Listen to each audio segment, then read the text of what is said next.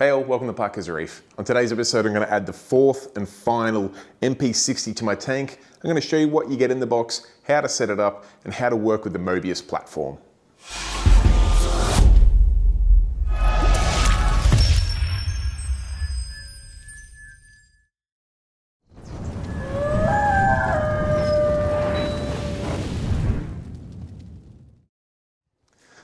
Thanks for joining me on another episode of Parker's Reef. And today we're working on my dream reef tank. And in fact, we're adding what is hopefully the last bit of flow I'm gonna need to add to this tank for quite some time.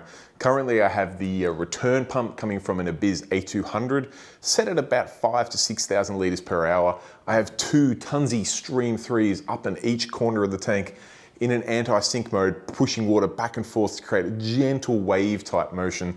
And now currently I have three MP60s on my back wall, set to some to sync and some to anti-sync to push water front to back and back to front of the tank. So I've got wave motions and uh, all sorts of chaotic flow coming in all different directions. Now, the plan always was to add four. Initially, I could only afford two MP60s. Now I've got my second two. I went and put the first of the second two on and then realized that I haven't actually done a video of it at all. So before uh, ripping the fourth and final one out of the box, I grabbed the camera out and I thought I'd take you guys through it. We'll open it up, I'll show you what you get in there, I'll show you how you go about setting it up on your tank, and then last but not least, I'll show you how you navigate your way through the new Mobius platform so that you can get the most out of your pump. So uh, let's get this box open and uh, get playing with my new toys. All right, here we have it, the uh, Vortech MP60 QD, which stands for Quiet Drive. It's got all sorts of uh, information, specifications, dimensions, and whatnot on the box, but um, I think if you've uh, purchased a uh, Vortech MP6, you've probably got a rough idea of what these pumps do. They've obviously got the uh, dry side on the outside of the tank, which allows the cables to stay out of the tank, keeps all the heat and all the noise and everything out of the water. Now, obviously you have a wet side and these magnetically couple together through the glass. Now, that's probably the only restriction with the MP60 is that you need to be able to access both sides of the glass. It's got to be a nice clear pane of glass. It doesn't have to be visibly clear, but it's got to be obstruction free. It's got to be smooth. It's got to be level. If you've got like a, uh, uh, an acrylic back wall stuck on your tank, you've got to be a little bit careful if it's a bit wavy or anything like that. But um, realistically, these guys are pretty easy to mount and I'm going to be putting them on my back wall where the dry sides are nice and hidden. But uh, let's get it open and have a look. All right, now, a couple of little points of interest here. It does say caution strong magnets. You do have to be careful with it, mainly with magnet cleaners, but these pumps are quite strong in their magnets as well. You don't want to get your fingers caught between them. And uh, secondly, the power cables are stored underneath this packaging insert. I'm assuming Ecotech have um, had a lot of calls or emails by people saying that the, uh, the cable that goes to the power supply is missing. It's not actually the case. You do have a, a little setup guide book in here if I can get it out. Get a little instruction on Mobius. You won't need that instruction because I'm going to take you through it and a quick setup guide. Again, I'll take you through it. Let's pull the uh, wet side out. It does come, unfortunately, a bit squashed up, but it doesn't matter.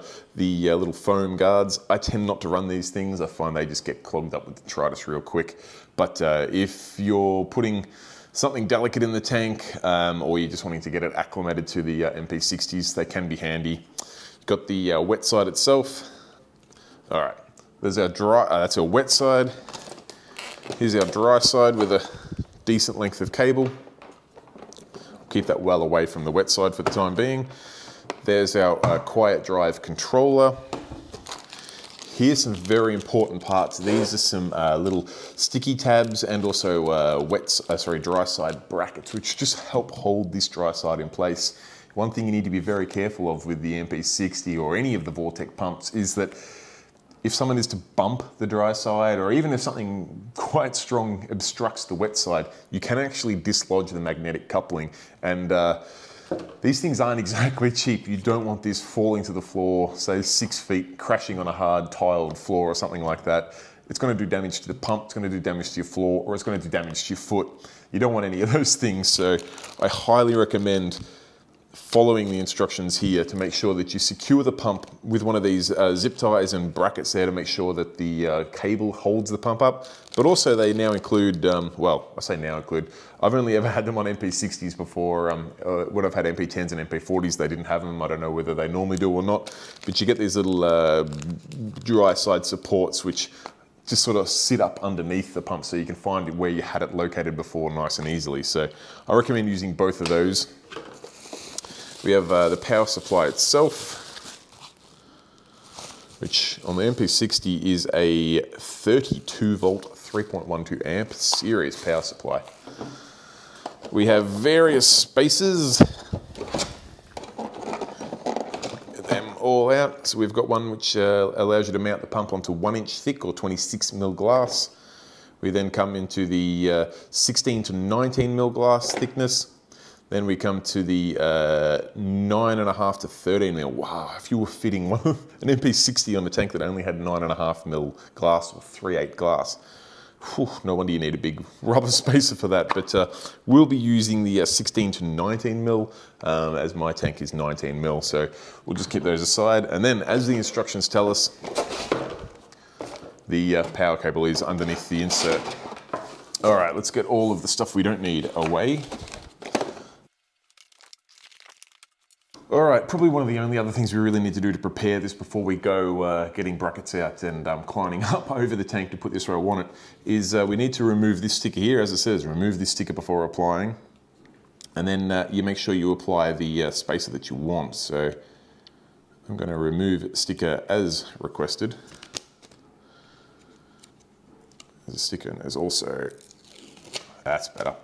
So now we get this nice sticky surface there. Going to remove this sticker as well. Again, this is the medium thickness because I am using a 19 mil glass or three quarter thick. And what I like to do is I like to get this little uh, tab here. I like to align that with the top of the pump. Let's make sure there's nothing else on there because it's sticky and it will be quite difficult to remove. All right, there we go. All right, now it's got my appropriately sized spacer on the uh, dry side, so that's good to go. The wet side itself is good to go. The electrical side of stuff, we'll worry about that a little bit later. I think the first thing we should do is get up uh, into position, get this pump on there, and then we'll worry about running the electrical side of things. Then I'll run you through how I personally go about making sure the pump is aligned.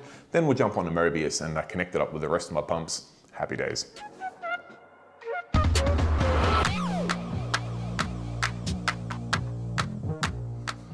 Okay, now that I've got the wet side and the dry side in position, before I plug in the power and just uh, see whether it works, what I'm gonna do is I'm actually gonna get up back on my uh, platform here.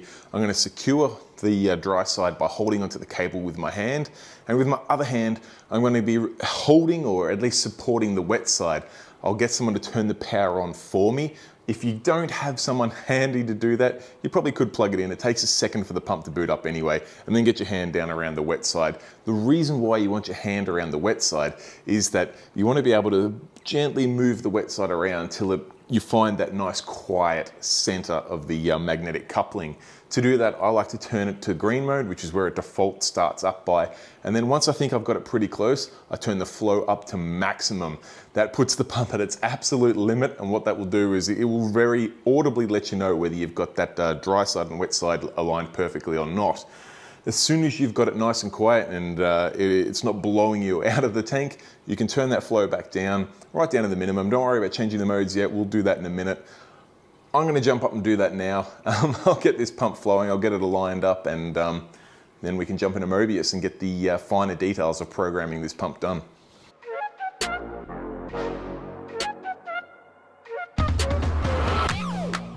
All right, one step that I nearly forgot. Now that I've got my dry side and wet side all aligned, the pump's running nice and quietly. I'm gonna grab my uh, little securing uh, sticky pads and zip ties. I'll put a little um, one of these little supports. You get two. I'm going to put one just underneath the uh, dry side so that I can easily find where the dry side sits next time.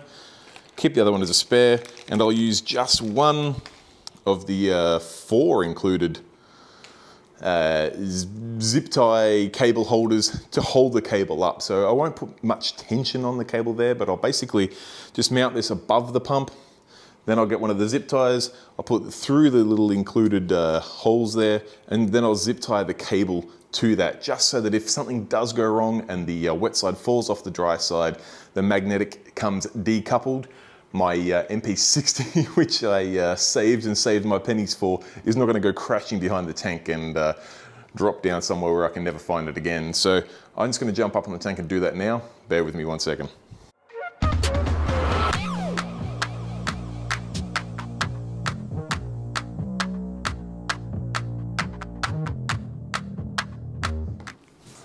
Right, so now I'm gonna set up the uh, fourth and final pump in my Mobius app, which I'll do on my phone, but I should actually also point out that you can download that app also uh, for a tablet. I will be in the future mounting this old spare iPad somewhere in my cabinet, which will give me really nice access to all of the web-enabled devices. So I'll be able to have the uh, Teco chiller showing me the temperature on there. I'll be able to have easy access to all of my Mobius controlled devices. So just a nice little cheap and easy almost wireless. I mean, you're probably going to need to plug it in for power, but um, super easy way to have a display um, and make your cabinet look really neat. But enough of that. Let's jump in onto my phone and uh, I'll get a screen recording going so you guys can see what's happening. All right, now we can jump into my aquarium section and go to Mobius itself. Go back home. Okay, so I've already set up a tank that I've called my main display. Now, uh, if I go into the flow of that, you can see that I've got three pumps here already in existence. I've got the uh, far right pump, which is the one that I set everything to. It's the parent in this situation. Then I've got middle right, then I've got far left. The new one we've just added is in the middle on the left, so it'll be middle left. okay, so what I'm gonna do now is hit the plus on this screen, and instantly it finds the pump. You don't have to do anything weird like that, it just, it knows it's there. Click on that and go next. It'll do a firmware check because uh, who knows how long this has been sitting on the uh, shelf for and in that time uh, before updating is, yep, won't unplug, that's fine. Who knows how long the device has been sitting on the shelf for and since then the Ecotech team have continually released new firmware and updates making these pumps even better as the days go by. So this will download the absolute latest software for it and make sure that it's operating at its peak. All right, update is complete. Your devices are going to finish the app installation. Feel free to leave the app while this occurs. That's okay. I'll stay in the app. All right, update complete. Happy days. It's now adding this MP60 to the setup, which is always good. I'm Not sure how long this part will take. I don't think it'll take very long. What I want to do is name this device while I've got it there, remembering this is middle left. I want to set it to be a, uh, a child of one of the other pumps. Okay, setup complete. Now, you've got a few options here. You can go for a default, low, medium, high. I'm going to set it to low just for now. Um, we're going to change this anyway, but just so it doesn't uh, start blasting the sand like it already is. Ah. Okay, now you can pick a template. Again, with the pumps, it doesn't matter so much. I'm going to change these settings anyway, but I'm going to go for Coral Lab AB Plus anyway. Wow, my internet is slow. Okay, Let's pick that up. It tells you what it's about. Uh, in this, I'm going to say activate, that's fine. All right, takes me back to my main display page. Now down the, down the bottom in the middle here is the flow. I'm going to click on that. It's going to show me all of my pumps. You can see the one there that's set to 50% is the new one. I don't want 50%. I'm going to quickly turn that down before it blows all my sand out of the way and bring that back to ooh, 30%. You can see you can do it individual steps, um, which is pretty cool. All right, that's got it back down to 30% like the rest of my pumps, as you can see on the uh, screen there. But what I want to do is link it so that um, it's also one of the uh, children of the far right.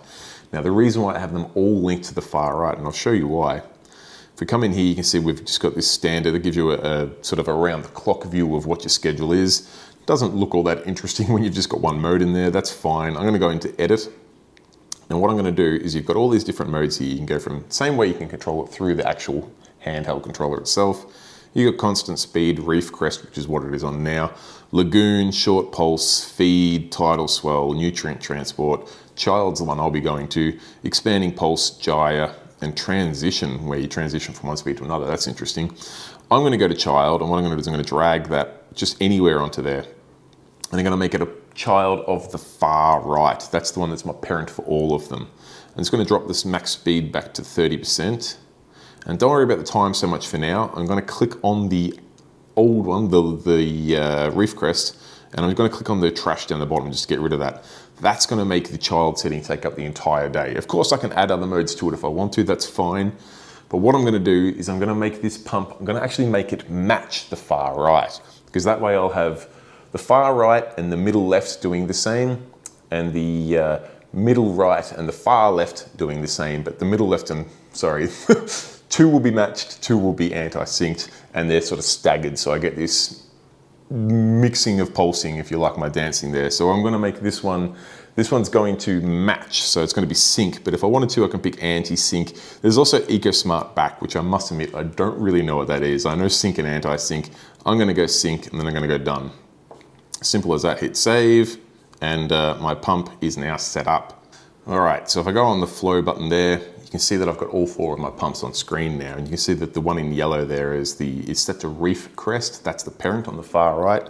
The other three are all set to children of the far right, whether they be synced or anti-synced. Now, you can also go back to uh, that home screen there and you can do feed mode, which when I press that, it slows all four of the pumps down to a bare minimum. I really like the way it does that. It doesn't just stop them, it just has them on this really slow mode so you don't get some of those cheeky fish like your blennies or uh, gobies or whatnot swimming up in there. And then when you forget about them or the timer runs out on your feed mode and they come back on, you end up with a second round of feeding with a little bit of sashimi in your tank, which is not what I want at all. So I really love this feed mode that just slows it down basically makes the pumps almost ineffective where they just turn slow enough, not really to move any water, but stop fish getting in them. I love the way that it automatically does that with all, and I love the way that I can also interrupt that. I can turn the feed mode off and they're back up and running as they should, which is really cool. You've also got these uh, feed, uh, these not feed modes, these live demo modes where you can jump in and change something. So if I wanted to put these all at say 50%, uh, that puts all the pumps instantly 50% and you can see the live demo will run for two minutes. I can stop the live demo and it returns back to my scheduled programming. Likewise, if I wanted to try a different mode, I might want to try short pulse, 75%, sure, let's do that. It's a really quick way of being able to try different modes before you go building a schedule. And uh, okay, wow, that's a lot of flow. Four MP60s uh, set to the live demo is uh, terrifying like clown. So I'm just going to stop that live demo and return to my uh, standard scheduling. And um, it's really about as simple as that. Like I said, you can jump in and you can change each one of the pumps individually. Or, uh, oh, one thing we do need to do is change the name of this one. Let's go into this one. Go in here, go to devices. There'll be one here, which as you can see does not have a name. I've got far right, far left, middle right, and then this uh, new one. I'm going to change the name of this one to be uh, middle left. You've also got this identify button up here, which will uh, flash on the controller to show you which one it is. I don't need to worry about that because I literally just added it, but now I've got my far right, far left, middle right, middle left. Pumps are all set up. They're synced. Happy days. All right, guys, there you have it. That's the uh, fourth and final MP60 and the sixth and final flow pump on my Dream Reef tank here. It is safe to say with four Vortech MP60s, even though they're only running at a maximum of 30% each, and the two Tunze Stream 3 set to a maximum of 40% each, that uh, there is more than enough flow in this tank for the time being. That being said, I have learned from experience that as corals start to grow in there, they literally just choke the flow and then you have to start working out how you can get pumps in there and provide enough flow down the track. I didn't want to fall into that mistake with this tank, so I've gone above and beyond with the number of flow pumps and with the flow ability with all of these turned down so far. Give it a year or two when I've got a bit of coral growth in there, I can easily bump the flow of any of these pumps up 5%, 10% and keep going until they, uh, they max out. But uh, seeing how much uh, water and sand it lifted up just by turning these up to 70% without even touching the tunsies um, tells me that I've got a long time to worry about that.